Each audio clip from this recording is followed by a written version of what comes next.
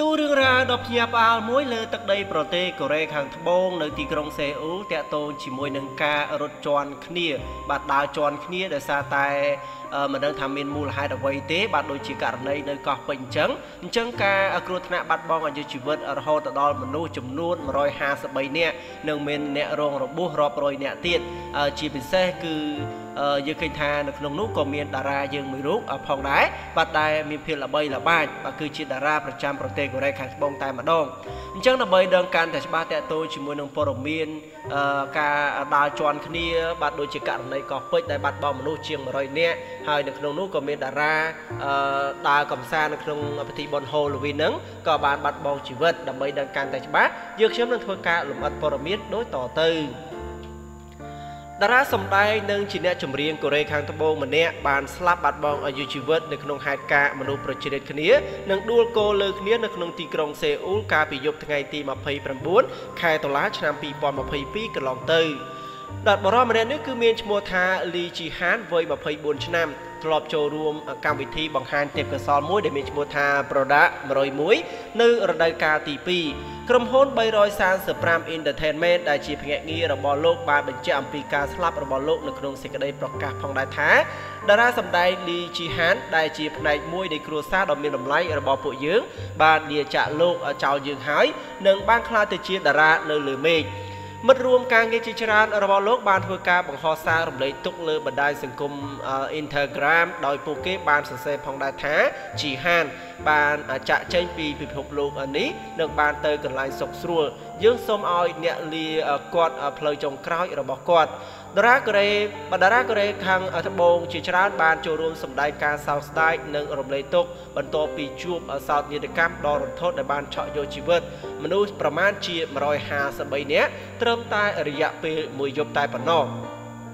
តារាចម្រៀងដ៏ល្បីឈ្មោះ G Dragon មកពីទីក្រុងបាត់មកពីក្រុម B Bang បាទក៏បានបង្ហាញសាររំលែកទុកដល់ក្រៀមក្រំនេះផងដែរកាលពីថ្ងៃអាទិត្យកន្លងទៅម្សិលមិញនេះដែលលោកបានសរសេរបែបនេះផងដែរថាសូមទៅឲ្យបានសុខនិងចូលរួមរំលែកទុកដល់ក្រៀមក្រំបំផុតចំពោះគ្រួសារជនរងគ្រោះសូមជូនពរអ្នកទាំងអស់គ្នាឲ្យអ្នកដែលមានរបួសនឹងឲ្យបានឆាប់ជាសះស្បើយផងដែរក្រៅពីជីត្រាកនតារាសម្ដែងស្រីដែលមានឈ្មោះថាគីមហេសូបាទនិងមុនចុងហេក៏បាន បាទតារាបាល់ទាត់កូរ៉េខាងត្បូងដែលមានឈ្មោះថាសាន់ហូមិន និងតារាជាច្រើនដែលល្បីល្បាញជាច្រើនរូបទៀតក៏បានបង្ហោះសារចូលរួមរំលែកទុកទៅដល់ក្រុមគ្រួសារនៃសពបាទជាពិសេសគឺរំលែកទុកទៅដល់តារាប្រុសដែលមានភាពល្បីល្បាញខ្លាំងដែរបាទនៅប្រទេសកូរ៉េខាងត្បូងដោយសារតែយប់នឹងគឺជាយប់ Halloween ដែលមានមនុស្សចូលរួមដើរកម្សាន្តបាទទាំងប្រុសទាំងស្រីហើយជាពិសេសគឺមកពីបណ្ដាប្រទេសជាច្រើនទៀត ដែលយើងឃើញថានៅក្នុងការបាត់បង់អាយុជីវិតនោះក៏មាន4ប្រទេសផងដែរដែលមកដែលបានបាត់បង់ជីវិតបាទនៅក្នុងចំណោម4ប្រទេសនោះគឺបានដើរលេងបុណ្យ Halloween នៅលើទឹកដីប្រទេសកូរ៉េបាទនៅក្នុងទីក្រុងសេអ៊ូលអញ្ចឹងយើងឃើញថាករណីនេះគឺប្រៀបដូចជាករណីនៅប្រទេស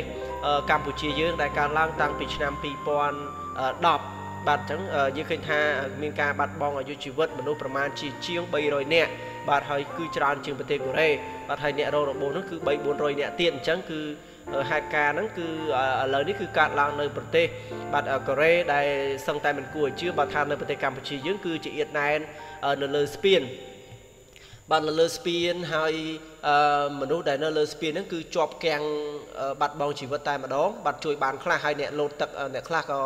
រួចខ្លួនទៅបាទចំណែកប្រទេសកូរ៉េវិញគឺនៅលើផ្លូវផ្លូវហ្នឹងលក្ខណៈថាផ្លូវរៀងចង្អៀតហើយដោយសារតែអឺដើរប្រជិតគ្នាខ្លាំងពេកអ្នកក្រោយចេះតែរុញបាទអ្នកមុខចេះតែប្រជ្រៀត បានចឹងហើយពេលដែលដួលទៅដួលគោលើគ្នាអញ្ចឹងបើទោះបីជាគេមានសមត្ថកិច្ចរាប់ពាន់អ្នកមកធ្វើការជួយសង្គ្រោះ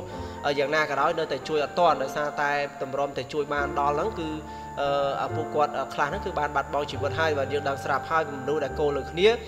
ពួកគាត់គឺប្រកាសជាស្ពឹកដៃស្ពឹកជើងដោយសារតែគៀបសង្កត់គ្នាខ្លាំងពេកហើយជាពិសេសគឺថប់ខ្យល់អឺ ដកដង្ហើមអត់រួចបាទដោយសារតែគៀបខ្លាំងពេកអញ្ចឹងហើយអ្នកដែលជួយបានមកវិញដូចនៅប្រទេសខ្មែរយើងអញ្ចឹងបាទអ្នកខ្លះក៏មានការអាការៈស្ពឹកសពុនដៃជើងឬក៏អាចនឹងពិការដៃជើងក៏អាចថាបានអញ្ចឹងរឿងរ៉ាវព័ត៌មានដ៏គួរឲ្យរន្ធត់យើងខ្ញុំក៏សូមចូលរួមរំលែកទុកផងដែរហើយជាចុងក្រោយសូមកុំភ្លេចពុកម៉ែបងប្អូនទាំងអស់គ្នាជួយចុចវា Subscribe ក៏ដូចជាដាក់សញ្ញាកណ្ដឹងដើម្បីទទួលបានវីដេអូថ្មីៗជាបន្តបន្ទាប់ពី Channel យើងខ្ញុំសូមអរគុណសូមជម្រាបលា